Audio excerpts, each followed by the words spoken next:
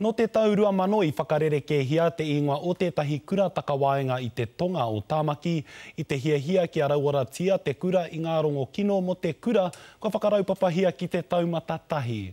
Nō tēnei rā tonu hoki atu anō ai te kura takawaenga o Papakura ki tōna ingoa tūturu, heoi hei tā te tumuaki kua tino piki te kounga o ngā akoranga. Anei te pūrongo a Te Okiwa McLean.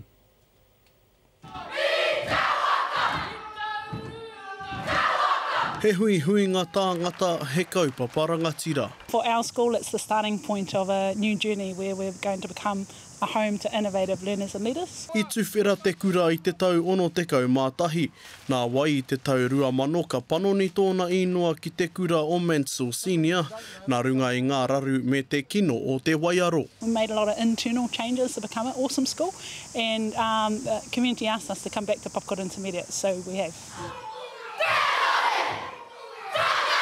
Tekau mā rima ngā kura nō Papakura i whakarauika atu ki te whakarewa i te haka hou mō te hapori o Papakura. Me mīharo tēnei ki au.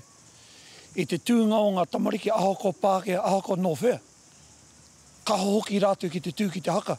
I'm a Papa Kura boy. I tae atu hoki ētahi o ana tauira nō mua. This place holds a special place in my heart and for my family and you know just to be back it's it's special. E whā ngā wāhanga hou o te kura i whakatuwheratia, ko tētahi i tapaina kia Jerome Kaino.